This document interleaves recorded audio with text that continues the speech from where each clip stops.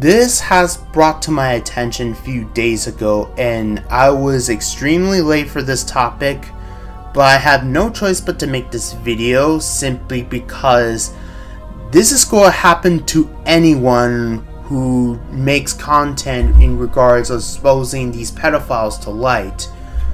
But here's what's happened a few days ago. Bowblax have received a second community strike for basically trying to expose these pedophiles to light and hold themselves accountable. But YouTube hasn't had not, none of that. So basically, he they send him this email in particular. Hi there. I hope you are doing well and safe. Thank you for your unending patience. I am sending this email to let you know that I have an update from our team regarding your concern about the community strike on your video got. After through re-review on your video, our team has determined that it indeed violated our community guidelines under nudity and sexual policies please keep in mind that explicit content meant to be sexually gratifying is not allowed on YouTube. Posting pornography may result in content removal or channel determin termination. Videos containing fetish content will be removed or age restricted. In most cases, Violent, graphic, or humiliating fetishes are not allowed on YouTube. Additionally, your video has been removed as it contains content of audio or text that includes descriptions of graphic sex or sexual noises. Since this is your second community guideline strike, I would like to remind you that if you got three strikes within 90 days, your channel will be terminated. So, yeah. He already got the second community strike on his channel, so we already know that he already got the first community strike beforehand, which is already a problem.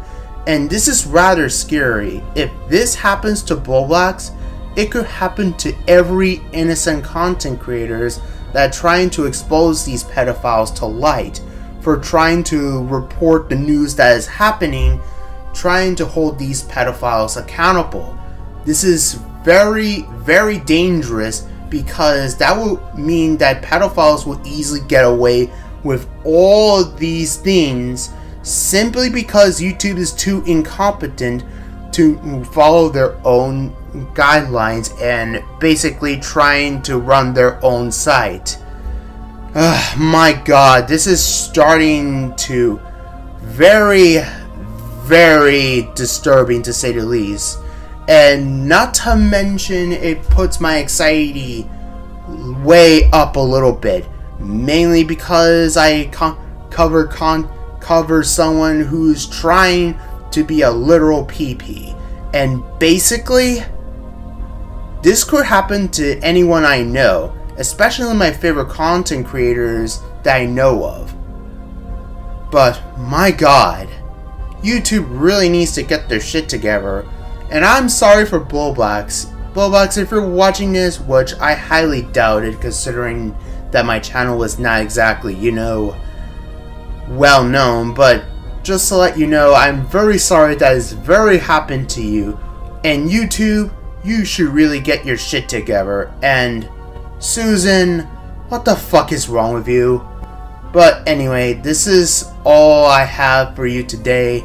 I really need to get back to bed because it's already past 1 a.m. in the morning. So yeah, this is Blue X signing out.